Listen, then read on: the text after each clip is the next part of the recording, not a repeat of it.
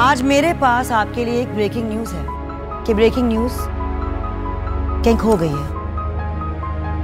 क्या आप जानते हैं कि आज़ादी सिर्फ़ अलग मुल्क हासिल करने से नहीं मिलती?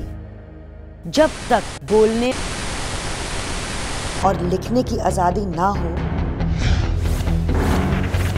तो हर आज़ादी अधूरी है। इस आज़ादी पर जब पहरा लगता है तो इंसानी कदरे पामाल और हकूक सल्ब हो जाते हैं। आइए, आज़ादी इजहार की बात करें, आज़ादी सहाफत की बात करें, जानने के हक के लिए आवाज़ उठाएँ।